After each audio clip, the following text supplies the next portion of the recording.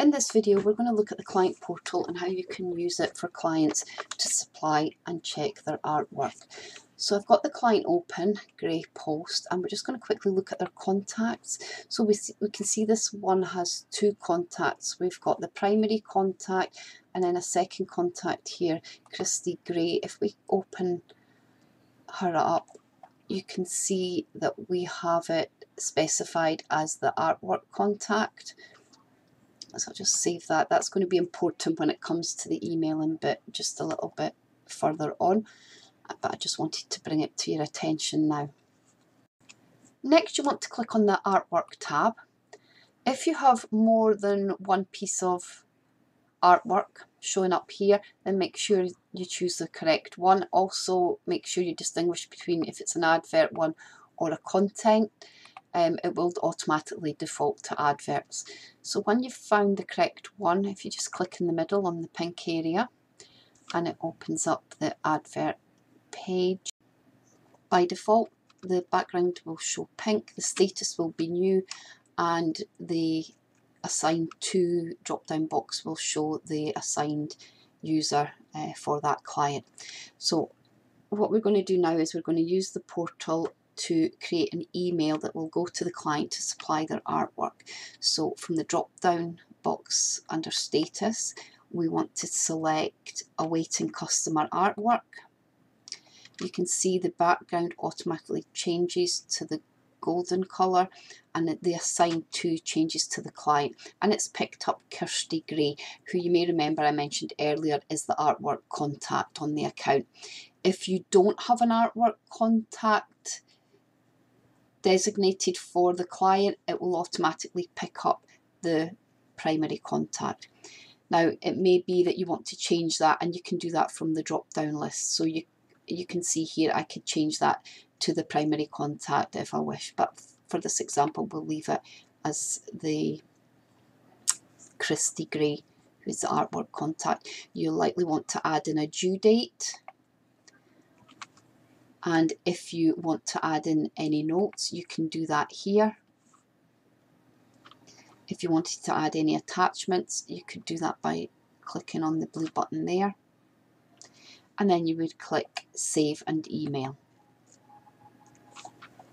So this brings up the preview email. So it automatically brings up the client's email and it auto fills um, based on their booking. So you can see that it automatically brings up her name and also the booking details. So we've got a full page for Grey Post. And you can see here it has the supply your artwork. That link will automatically appear once the email is sent to the client. So we'll just go ahead and click. You, you actually, you can edit this. So if you want to add in extra bits and pieces you can do that or you can edit the main template which was mentioned in the previous video. So I'm quite happy with that now so I'll just click send email. So I'm now going to open up the email that is sent to the client. Okay, you can see in the email that there's a link there for the client to click on to supply their artwork. So when the client receives the email, they simply need to click on the link and that opens up the client portal for them. So I'm now going to look at two different scenarios. The first where the client has print ready artwork which they can just upload straight away by using the upload artwork link. So they'd simply click there, navigate to their computer, choose the file and up upload it. It'll take a minute or two for it to upload, but once it has uploaded, the advert will display on the left hand side here. They simply need to click complete and the advert will be then shown in your MagManager account.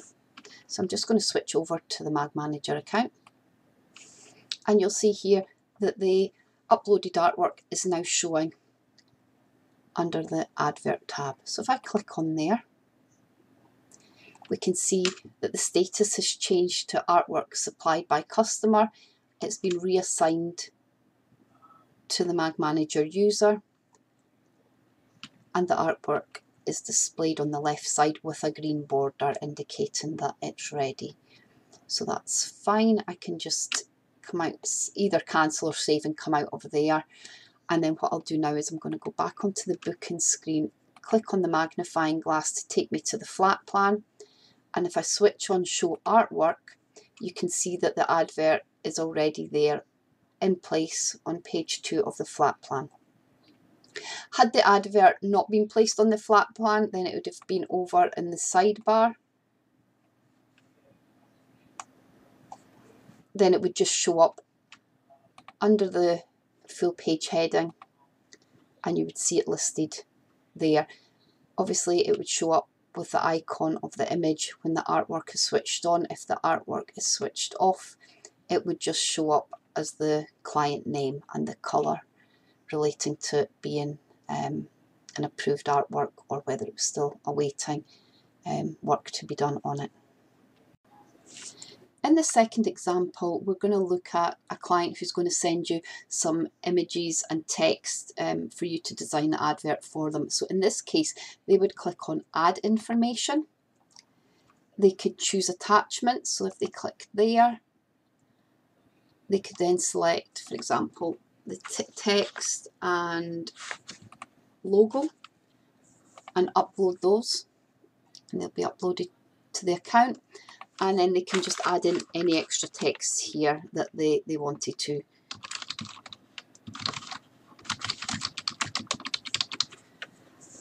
And then click Save.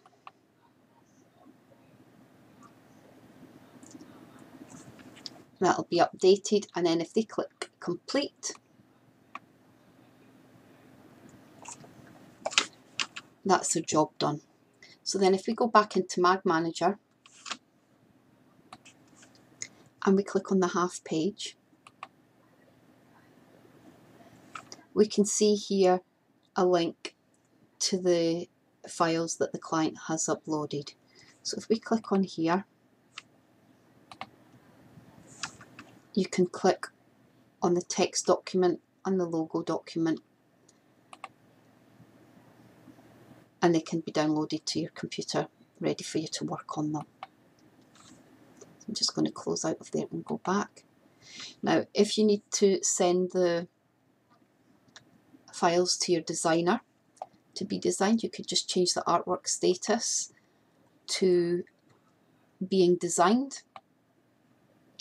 And if it's to be assigned to your designer you could choose your designer from the drop down box.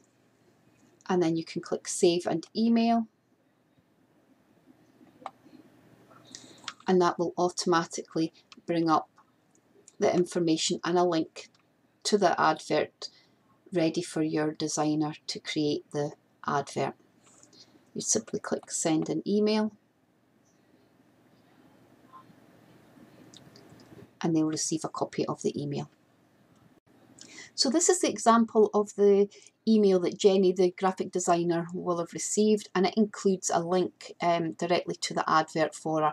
So she could just click directly on the link and it will open up the information there. So again, she can click on the paperclip here on the right hand side and that would give her access to the downloads ready to design the advert. Once she's completed the advert, she would change the status to waiting for customer approval and that automatically assigns it back to the client. You would then upload the artwork. So just I'll find that on your computer and then click open which will upload the artwork It'll just take a minute or two to upload. Once that's done, you would click save and email and that will create the email message preview ready to send to your client with the link inserted automatically. So if you click send email, that will go to the client and this is what the email looks like that the client gets. So it has it's headed up, please approve your artwork for, and then your um, company name would be there and it provides a link directly to the artwork for them to approve. So once they click on the link in the email, it will take them to the portal page where they can see the advert. If they click on the little black arrows, it will expand it so they can see it at full size. Clicking on the arrows will reduce it back down. Now you can see they've got two options here. They can either approve or reject. If they click approve, it comes up with the option, are you sure you want to approve this advert? They can either cancel or click yes to go ahead and approve it and it'll automatically be approved. I'm going to cancel for a moment. Or there is the option to reject. And so they can add in some extra text in here. So for example, they might say, okay, you've got the wrong phone number. Can you please update the phone number? And then click yes, go ahead and reject. And you'll get that message come back. So in this example, I'm going to do the reject option.